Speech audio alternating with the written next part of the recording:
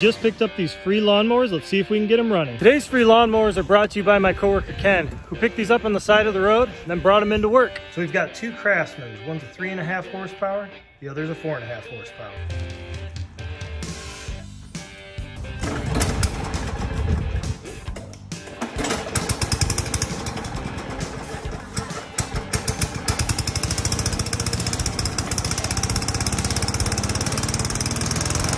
See if this one runs. That's probably good.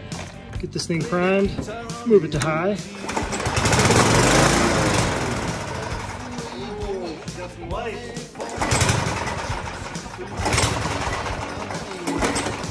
Green Craftsman runs mint, that's a $50 bill. This other one is gonna need a carb clean. If you like to see old machines come back to life, check out the channel for more.